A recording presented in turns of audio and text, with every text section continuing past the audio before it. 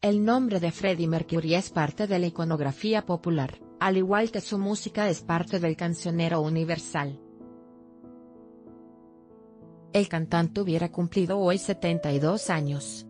El 5 de septiembre de 1946, Bomiljer Bulsara tuvieron a su primer hijo en la lejana isla de Zanzíbar actualmente parte de Tanzania pero por entonces protectorado británico, y lo llamaron afortunado feliz. Según algunas traducciones del nombre persa Farrokh, aunque el músico hizo pocas referencias públicas a su origen asiático, por sus venas corría sangre persa y haber crecido entre las playas africanas y las convulsionadas calles de Bombay, donde asistió a un colegio durante su adolescencia, lo marcaron para siempre.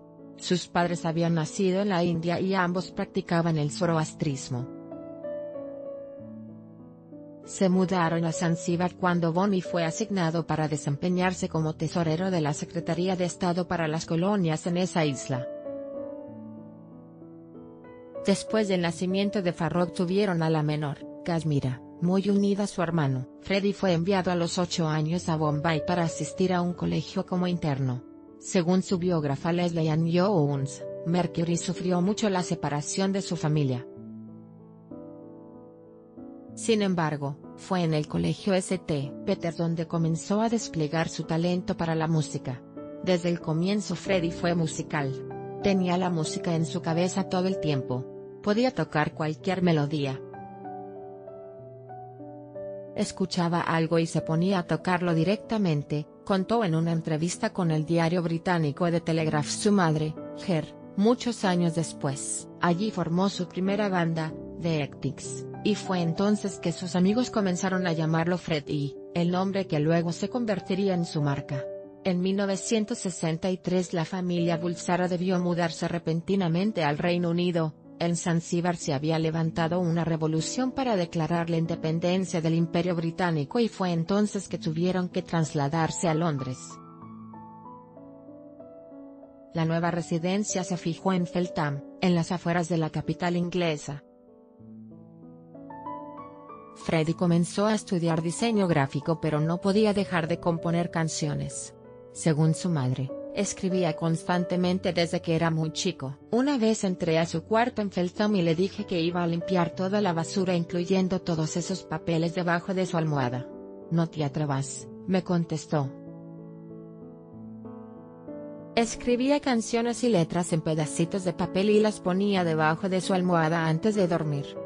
Le importaba mucho más la música que el estudio y mi marido decía que no entendía qué iba a hacer de su vida. Lo hice mandar cartas para algunos trabajos pero después de aplicar me decía espero no quedar en esos trabajos.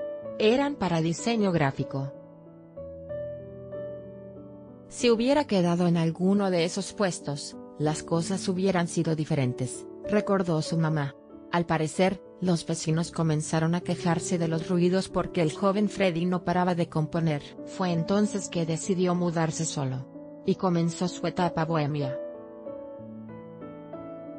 Vendía ropa usada y asistía a shows de bandas en ciernes, como Smile, el grupo que formaron Brian May y Roger Taylor con Tim Staffle antes de hacerse amigos de Mercury. El resto es historia conocida. Un día Staffle renunció y los otros miembros del grupo decidieron sumar a Freddy buscaron un bajista, John Deacon, y nació Queen.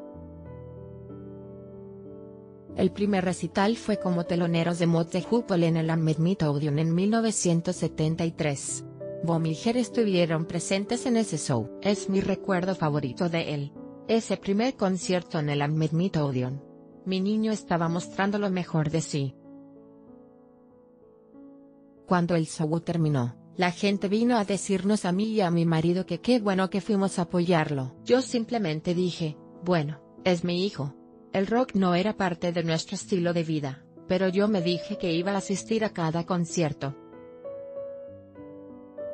Era emocionante para mí. Era 1973 y él se vestía todo extravagante. Yo solía decirle que se corte el pelo pero él me decía no, mamá, esto es lo que soy. Después comenzó a usarse el pelo corto y vino a decirme, mira, lo hice, me corté el pelo.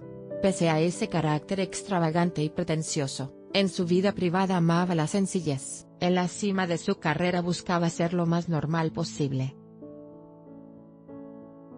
Iba a la casa de sus padres, se sentaba en la cocina y esperaba que su mamá le cocinara. Si estaba en el estudio me llamaba y me decía ma, haceme algunas galletas de queso más porque están todos los chicos acá. Y yo le decía por supuesto, como no.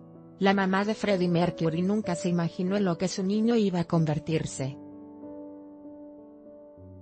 Su familia era el extremo del perfil bajo y pese a las muchas advertencias que le había hecho Fred no se lo había visto venir. Una anécdota de esos años en los que todavía se estaba gestando la leyenda lo describe, se preparó para rendir su examen de manejo con mucho entusiasmo, pero falló. Al volver a casa, le dijo a su mamá, no me importa. Su mamá le espetó que no querría pasar su vida subido a un bus. No me importa porque un día voy a ser trasladado por un chofer a donde quiera. Ella rió. No entendía que lo decía en serio.